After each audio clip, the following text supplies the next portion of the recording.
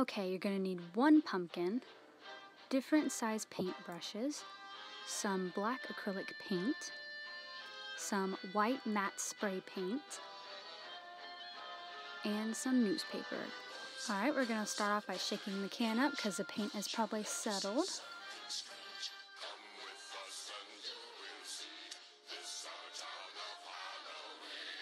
And start spraying at a safe distance just so we can tell how much pressure we need to add. I am very excited about this. so just go ahead and keep spraying. I'm checking to see if I'm recording because I'm an idiot.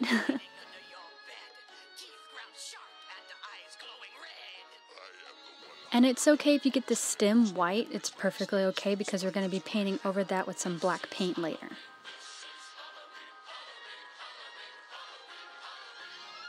And this is why you should wear a mask, because I cannot take the fumes. So just make sure you're covering all the orange spots. Obviously, we want a white pumpkin. also, after you've done spraying, make sure that there's no orange poking out at all. Because you'll see a hint of it in some parts, so just keep going back over it. And now that I've done this, you probably shouldn't do this, but um, I sprayed the bottom and it didn't really help me when I put it back onto the newspaper because it stuck to it. Look at the pumpkin. Isn't it amazing? Go ahead and get your black paint. Put it on top of something where you don't mind it getting paint on it. And go ahead and get a brush. And start go ahead and painting the eye. And at first it doesn't matter how you start off the eye because we're going to add more paint as we go.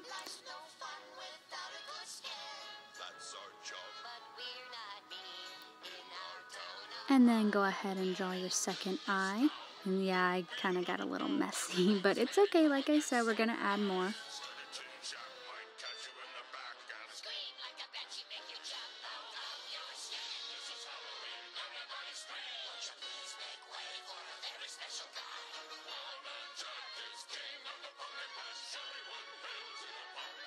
So since Jack has some pretty big eyes, we're just going to go ahead and start adding some paint on the outside.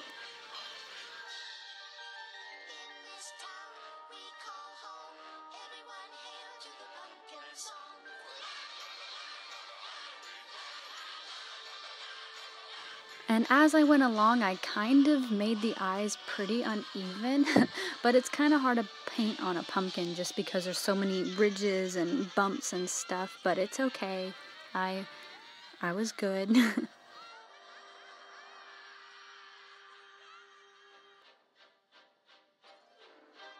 and as you paint, just go ahead and keep filling it in.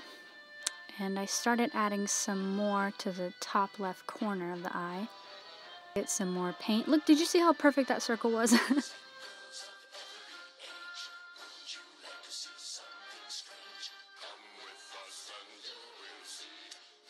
Try to get those lines as straight as you can. I know it's kind of hard since the pumpkin is pretty bumpy, but it will be okay. It will happen. We will make this happen together. I actually took a smaller paintbrush just so I can really get those bumps smoothed out and straightened.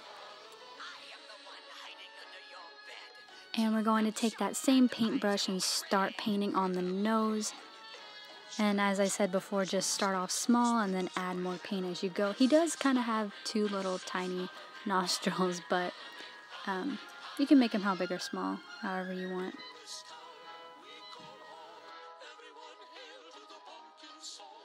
As you can see, I'm trying to perfect them.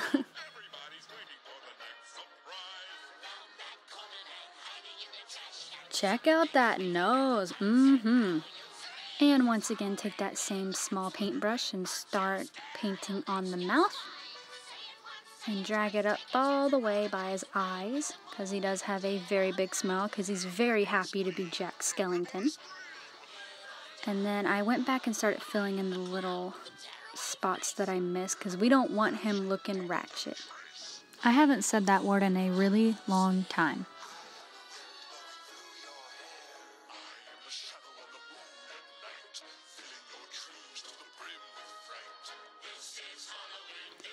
And then start adding those little lines that go down over his mouth. They don't have to be perfect. I didn't make them perfect because I was at a bad angle, but it's okay.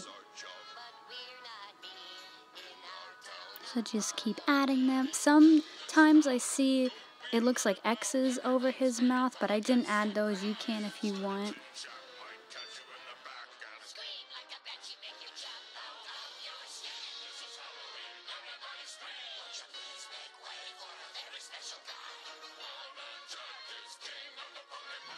And go ahead and keep adding them on the other side.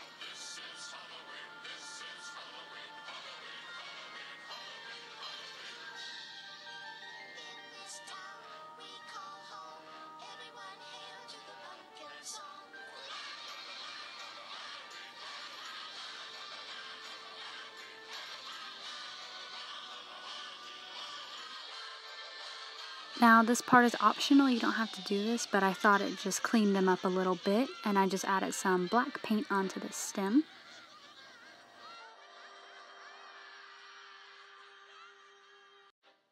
By the way, I'm sorry that you have to listen to this song three times now in a row.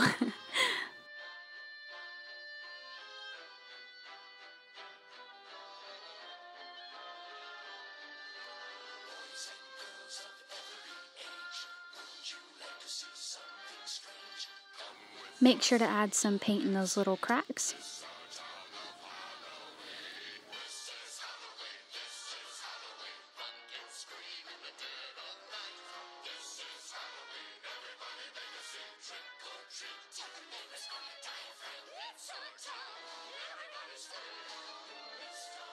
And then I took that same small paintbrush and I just went along right where the pumpkin meets the stem and added some black paint.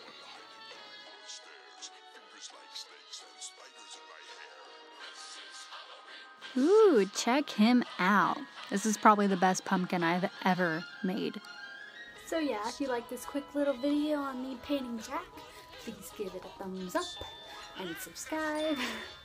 and you don't even have to do it for me, do it for Jack. Because now he is brought to life in pumpkin formation. Anyway, thank you so much. Wave bye, Jack.